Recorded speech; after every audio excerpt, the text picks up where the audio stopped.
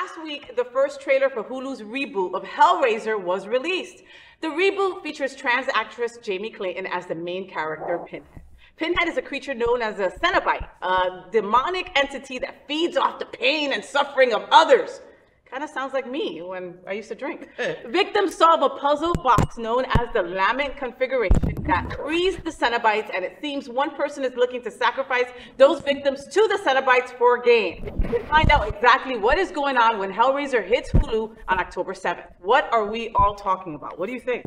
Uh, Pinhead looks amazing. Yeah.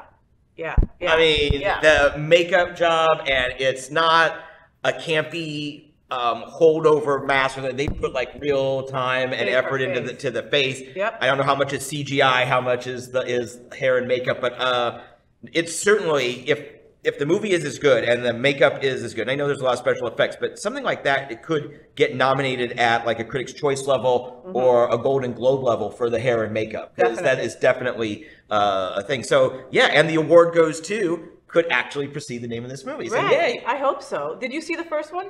Yeah. Did you like it? Yeah, yeah. Yeah? I, Like- I love bad. Uh, so good they're bad sometimes, and and just the campiness. Yeah, I love it. Well, see, like I don't like horror. Like when it comes to like you know Freddy Krueger coming and following you and killing you in your bed and all that kind of stuff. I don't like that. But I like movies like Saw. Yeah. Like where your ass is getting killed because you did some shit, right? Let's be Yeah. real. And for Pinhead, okay, I, I love that you have to solve a puzzle. Like okay, you've got to cut your hand off to figure out how to solve this puzzle, but you get to live. You know, I mean, it's like some crazy crap. Um, I love that it's a trans woman playing the part. Her body looks incredible, and um, I think I might go see this movie, even though I'm a little fearful. So I might take Luna to the movie theater, and it is what it is. Oh, Luna's a good girl. She'll Luna's be a good scared girl. though. She'll be scared. I'm scared. Yeah. Just saying. So, did you enjoy the show? I know you did. So make sure to click subscribe so you won't miss any of the events, news, or interviews right here on the Fay What Show.